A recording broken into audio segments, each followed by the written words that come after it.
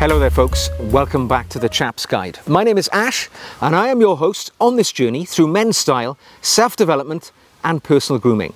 Now today's something of an unusual uh, video for me. I don't typically do reviews of singular books which I've read. I do the occasional compendium of books that I've read which I would suggest for you. However, I know many of you guys may be heading off on a summer vacation, maybe a bit of a holiday, and you're starting to think about perhaps buying some reading material, as I was a little while ago. And I picked this book which was outside of my normal comfort zone. It is Days at the Morisaki Bookshop. Uh, it is a original Japanese book translated into English. Now the author is Satoshi Yagisawa and it was translated by Eric Ozawa. Uh, it, be, it was published just over a year ago in July 2023. Now, as I say, it's not my typical book. I tend to wear, uh, read rather, um, fiction which is kind of action oriented or non-fiction which is historical in nature. Those are the typical trends which I go on. However, every so often I think it's really important to challenge your mindset and maybe to pick up a book which you wouldn't ordinarily read. I mean I joined a book club in my local town specifically for that purpose which uh, makes me read books that I would never choose from the shelves of a bookstore. And in that mindset, I walked into my local bookstore thinking, I'm going to pick something today which I would never ordinarily have picked. And I picked a book which I selected entirely because of its colourful jacket and it sounded something I might be interested in. So that is what brought me to the days at the Morisaki bookshop. Now I have enjoyed a few Japanese books which have been translated into English. There is something about maybe the language, maybe the ideologies of that mindset of the Japanese transferred into English, which seem to have worked well. Now this book takes us on a character journey. It's set in the Morisaki bookshop, which is from uh, a, an actual place in Japan. It's called the Kimboko. Uh, district of Tokyo, which is apparently, never been to Japan, but is apparently quite well renowned as a, a district which is full of uh, second-hand bookstores. Now, there's a small cast of characters here. Our main protagonist is a girl called uh, Takako, who is a 25-year-old female, uh, and basically she is your standard sort of young 25-year-old working in an office. She has a love affair with a co-worker, but she discovers that that co-worker has been doing the dirty on her and actually he intends to marry another person. Now this causes her total emotional breakdown.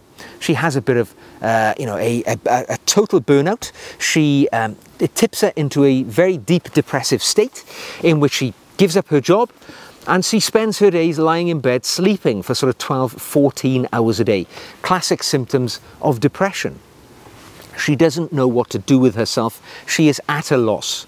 And she's contacted out of the blue by her uncle called Satoru.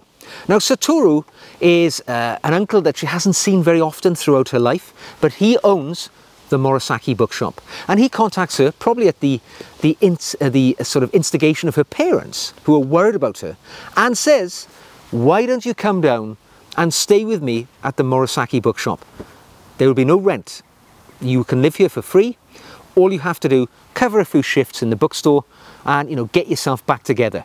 Now she is reluctant, but she does need to reduce her costs because she's not working, she's paying rent on her apartment, it's not going to work. So she moves into the Morisaki bookstore and she describes it as a musty old bookstore, somewhat, uh, you know, run down. It's been in the family about three generations. Uncle Satoru is a bit of an eccentric character. He's a bit of a a tragic figure, really. Uh, his wife had left him under unexpected circumstances, or just no circumstances, five years prior, and he lives a pretty sort of pathetic life uh, from what she can see. And she moves into the store in this room above the bookstore, which is full, a storeroom basically, of musty old books. She describes it as stinking of old books. She clears a space for her bed, her futon, and she kind of gets down to passing the days. But eventually, she starts picking up the books and reading them.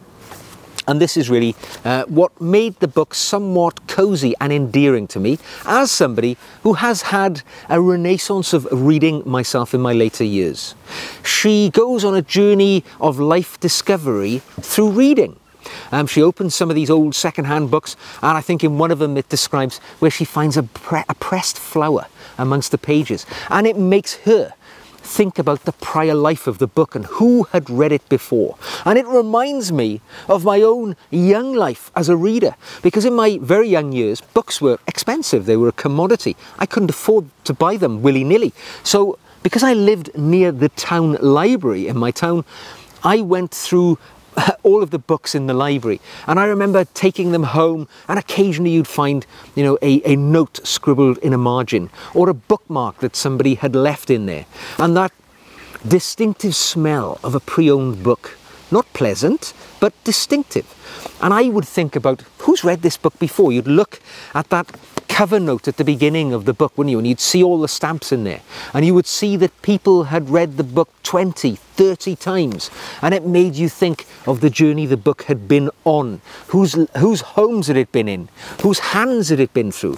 Whose minds had the book illuminated? And of course, you can guess the story. I'm not going to tell you the specifics, but it turns her journey around. She becomes a better version of herself. She gets to know the characters, the regulars who come into the bookstore, and these little interactions help us to understand her character arc as she goes from devastation to fully functioning adult again. She builds relationships. Even at the end, a relationship starts to take form that it appears may bear fruit in the future. Now, there's a little kicker to the end because the book's in two parts. The first part is about that character story, but then the final part is where, out of the blue, her long lost auntie returns. Auntie Momoko. I had to read her name because I forget these Japanese names. This is the auntie who'd done a runner from Uncle Satoru five years hence. She comes back after five years missing. And eventually Takako is a little bit reluctant to allow her into her life. But the auntie suggests a journey where they go hiking up a mountain, staying in a tea house, and they get to know each other. Secrets are revealed and a bond is built.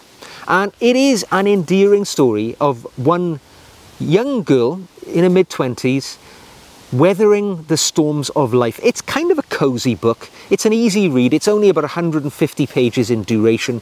You can read it in just one or two days if you put your back into it, uh, or you can take a bit longer if you prefer to read over a longer time. But I just found it a cozy, endearing read, which left me feeling happy. Now, earlier this month, and I record this in July 2024, and the sequel has already been published just a few days ago. It's called More Days at the Morisaki Bookshop.